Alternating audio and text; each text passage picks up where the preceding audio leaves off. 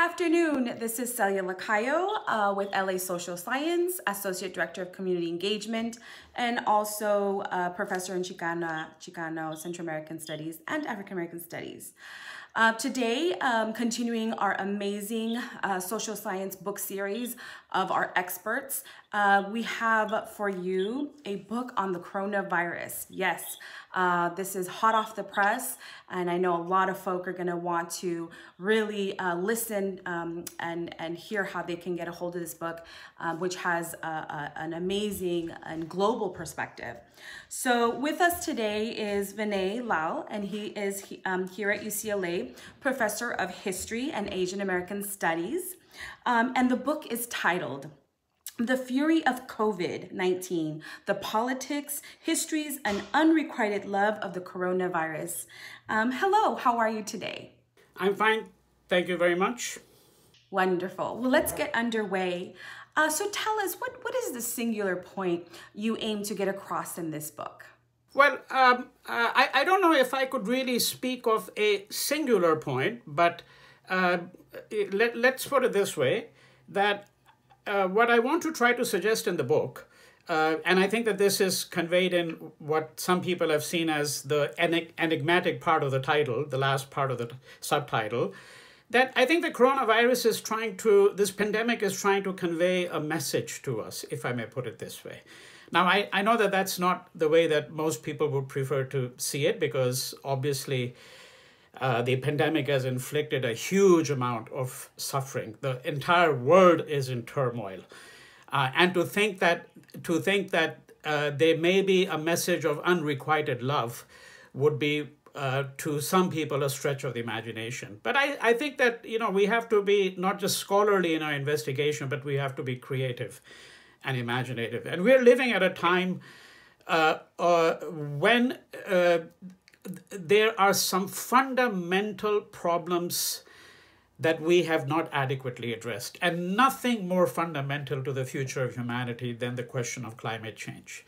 So, even though the pandemic at this point may seem to be the most pressing issue, in the long run, the most pressing issue unquestionably is the question of climate change. And I think it has to be admitted and has to be said that there's still a large number of people in this country, uh, in the United States particularly, who actually don't think that climate change is an issue. Uh, and we have to begin with the person who is the incumbent in the White House, the, the sitting president, who is a climate change denier, right? So, so and, and you might, of course, ask what is the relationship of the coronavirus pandemic to climate change? But one of the things that happened, and this is again something that is really quite extraordinary about the coronavirus pandemic, is that we have never in history witnessed this level of state intervention. That is also what is singular about the coronavirus pandemic.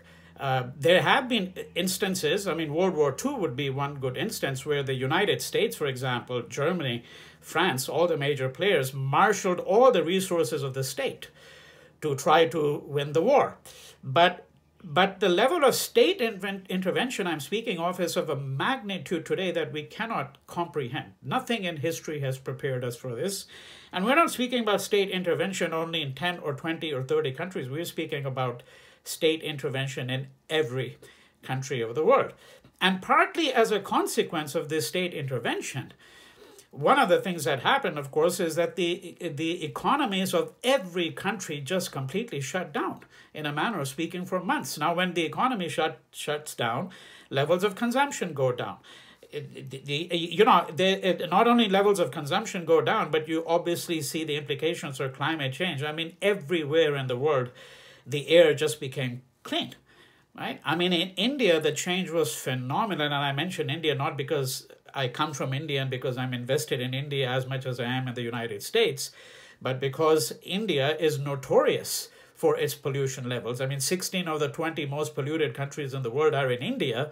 Uh, and, and within a month or two, the change in India was phenomenal, right? I mean, entirely unexpected. So, if we're thinking about the coronavirus and its singularity, one is certainly that it helps us think about climate change in a way that nothing else has. And secondly, it is something that has, in fact, uh, introduced us to the idea of state intervention at a level which was previously incomprehensible.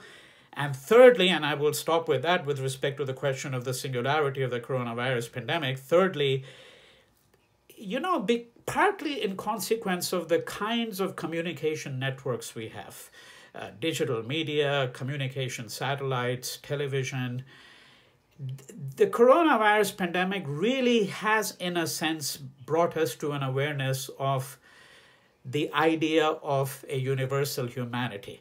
And I don't mean this in some pedestrian fashion that we are all in it together. Well, yes, we are and we are not. We know that some people have suffered a lot more than others. There are inequalities which have determined the outcomes in many countries.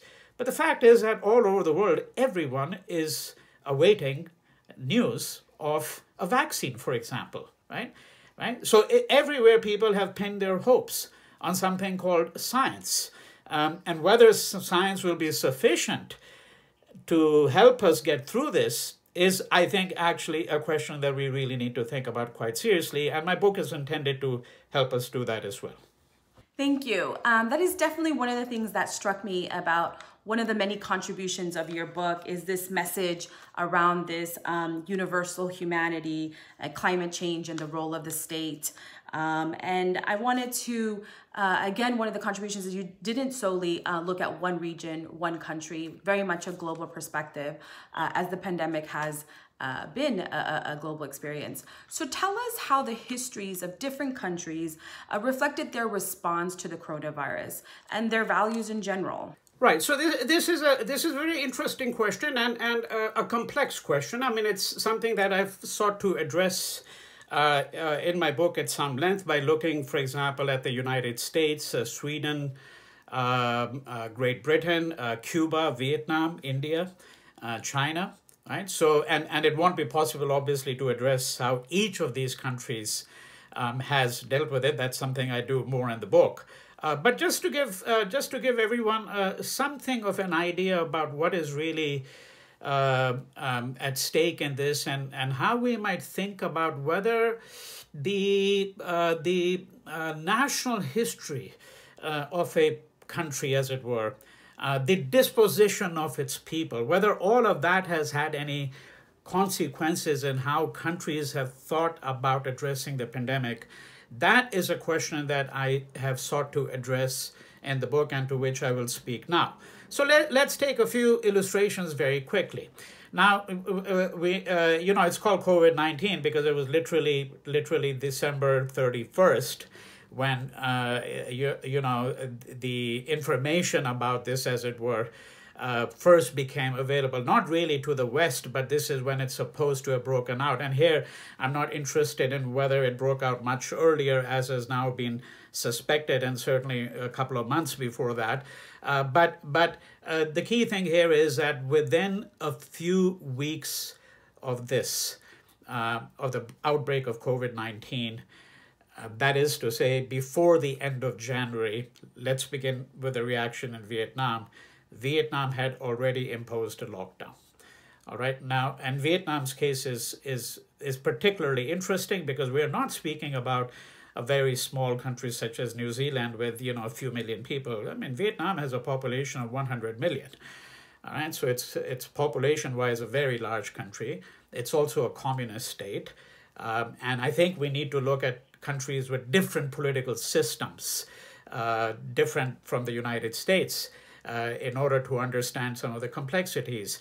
Um, uh, Vietnam did what the United States did. I mean, one of the few things that Trump did, that President Trump did, was that he banned flights from China, but he did not ban flights from Macau or Hong Kong or Taiwan.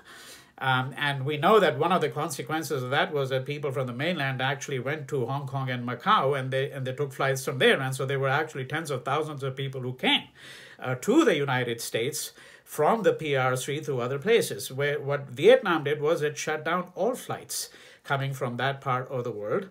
Um, uh, and if you look at uh, uh, uh Vietnam today, there have been fewer than 35 deaths with a population of 100 million in comparison to almost a quarter of a million deaths in the United States, which has, you know, roughly three times as many people, a little bit more than three times, 330, 340 million, right? I mean, so the difference is astronomical.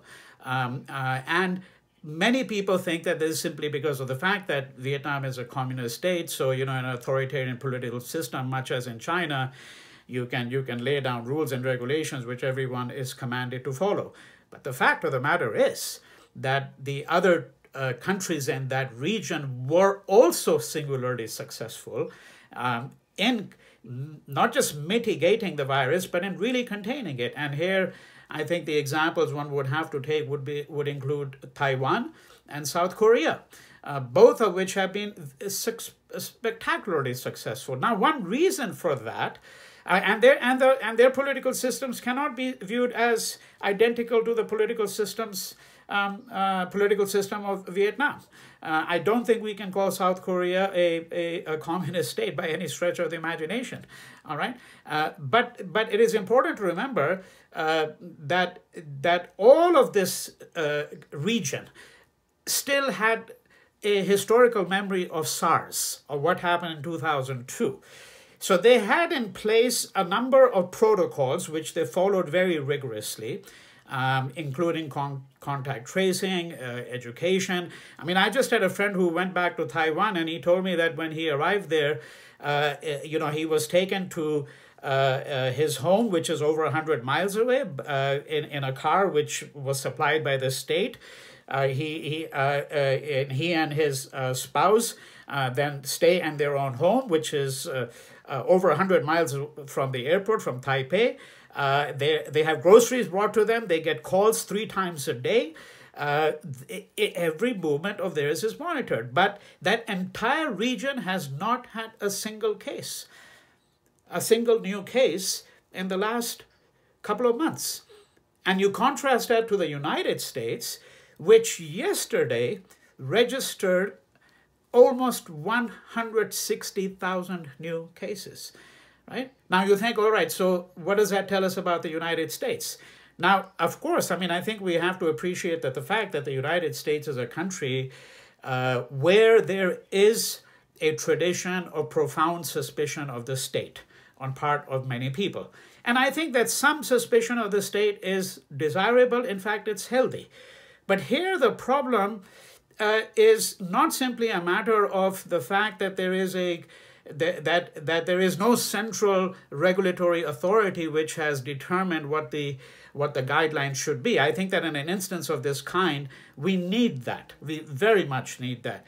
But it also has to do with, with the breakdown of the social order in this country. It has to do it has to do with the fact that this country has not invested in public health infrastructure. It has left a large number of people, particularly people who are at the margins, whether because of uh, the color of their skin uh, uh, or uh, on account of other factors, uh, that in the United States, what we're seeing is we're seeing a number of things coming together, some of them which have a long history, such as these traits of individualism that I was adverting to just a moment ago, but some of which also have to do with the fact that the state here has become almost entirely dysfunctional in the United States. All right. And then we can take as a contrast. So, on the one hand, we have Vietnam, we have the United States. We can take as a contrast Great Britain. Again, a long history there because, you know, initially what Britain sought to do was to actually try to achieve herd immunity.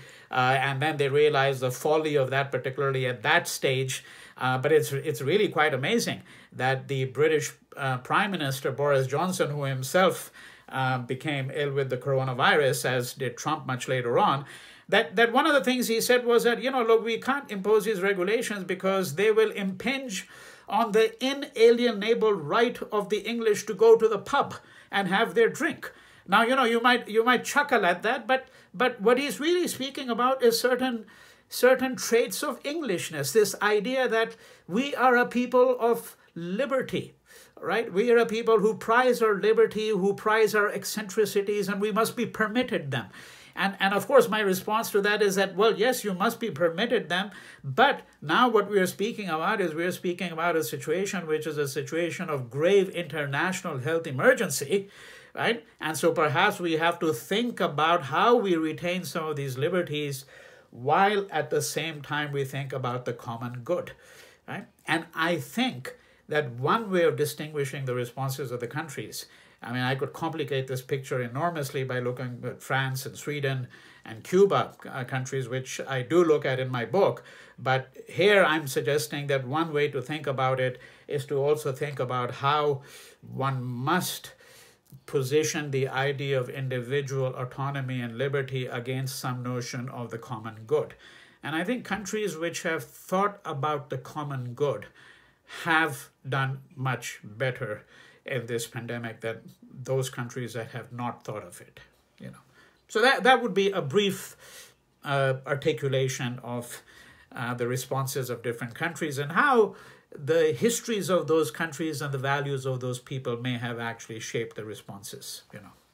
Absolutely. I can definitely attest from reading the book that one of the major contributions is that conversation between uh, states and uh, like Great Britain and the US and the rhetoric of liberty versus other uh, countries, as you mentioned, uh, who did much better, do are doing better because of the common good and collective.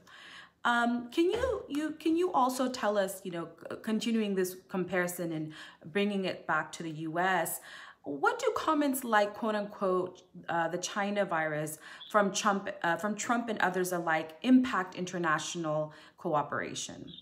So I, I think that uh, we can view this in a number of different dimensions. I'm going to confine myself here to two dimensions of it. All right. So one is that I uh, that so uh, let's begin with this. Let's begin with the fact that there is actually in place a a uh, a mandate from the WHO, from the World Health Organization. This goes back a number of decades, uh, and this mandate effectively is that one cannot designate uh, a virus, uh, for example, or an epidemic by the um, the name of the place from where it is supposed to have originated. Uh, it's a, there, there is a there is a stipulation, international stipulation that one shouldn't do that, um, um, and, and, you know, and there is a long history uh, of uh, countries being uh, of a particular epidemic or pandemic or a virus, some kind of outbreak being associated with a place. So, for example, the 1918-20 uh, influenza epidemic uh, which was on an astronomical scale. I mean, now the revised estimates are that the 1918 um, influenza epidemic, which went on for a number of years, couple of years at least, uh, uh, uh, killed between 50 to 100 million people. And then we have to remember that the population of the world at that time was much smaller than it is now. So proportionately, we're speaking about an enormous mortality. Uh, but this uh, influenza epidemic is nicknamed the Spanish flu. Uh, uh, and, and of course, uh, the Spanish are not very happy about it uh, at all. In fact, it had nothing to do with Spain. The most likely or place of origin of this, actually, according to the most recent research, is Kansas in the United States. Uh, that's the most likely origin of this um, uh, of this uh, of this influenza epidemic. But it was nicknamed the Spanish flu because 1918, uh, the the First World War was going on, um, and and the and uh, you, you know just as just as is the case today, countries were using. Uh, the influenza epidemic as propaganda, you know, saying it originated in such and such place. The the only country in Europe, really, uh, or one of the few countries in Europe that was not involved in the war, which was neutral, was Spain. So the most reliable news was coming from Spain, uh, and this is how it got to be nicknamed the Spanish flu. Right. Now, going back to the question about, about Trump and other Republicans calling it the China virus. Uh, so I've already indicated that this is undesirable, simply simply speaking about it in a political and legal fashion. But I think one needs to look at the ethical dimension of it.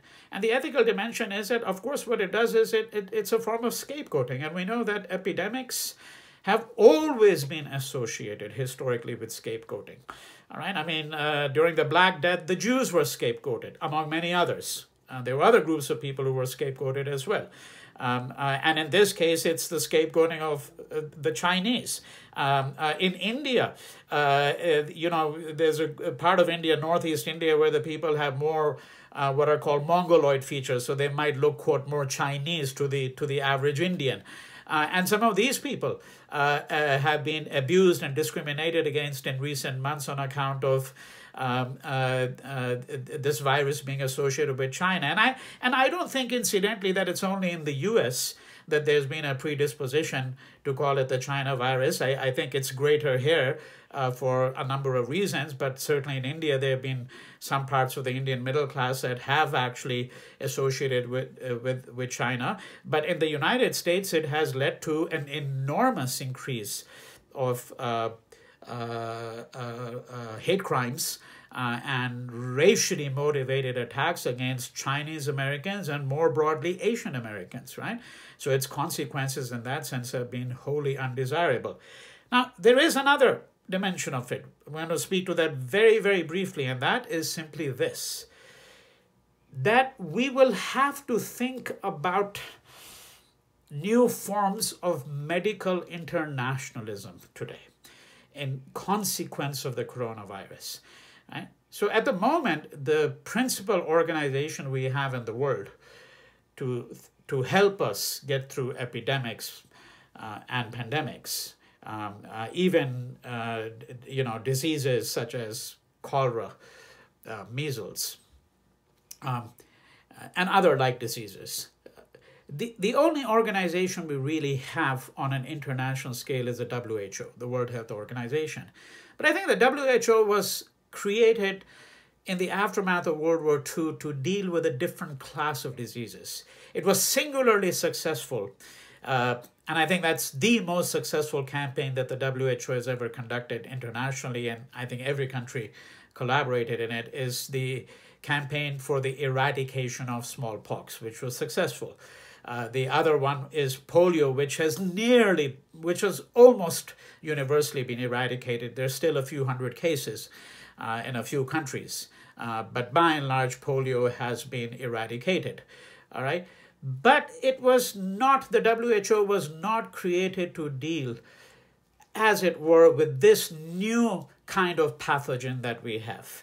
All right, uh, these pathogens have that parasites uh, uh, that have escaped from uh, res reservoirs of nature because of the encroachment of human beings. Um, uh, and which uh, are largely zoonotic diseases, right? These are largely zoonotic diseases. I don't think the WHO has been is being equipped traditionally to deal with it, and and unfortunately, it is being really severely undermined, not just by the United States, but even by China, which I think it must be said, did try to obfuscate what happened this time, just as it tried to obfuscate what happened uh, with SARS in 2002. I think there's a, there's a there's a record of that. We know exactly what China did and didn't do in 2002 uh, as well. But on the other hand, I think it would be impossible to put uh, to blame uh, the WHO because once countries were warned, many countries did address the issue. The United States didn't. That's the singular fact, right? So, so I think when we call it the China virus, apart from that, apart from its implications for groups of people, for individuals, uh, the rise of xenophobia throughout the world, uh, the fact that it it that it actually uh, almost motivates people to to indulge in r- racially motivated attacks and hate crimes um, uh, with impunity. Apart from all of that, there is a question of whether it actually undermines critical forms of cooperation that are required today. Wonderful. So, as you can see, this book offers many, many rich contributions and different uh, types of discussions around coronavirus from legal to moral to ethical, and these comparative analysis between groups and the need for collective action um, to really uh, be able to challenge the uh, pandemic. I want to thank you for your time today. Uh, again, this is Celia Lacayo with UCLA LA Social Science, and we will see you next time. Thank you.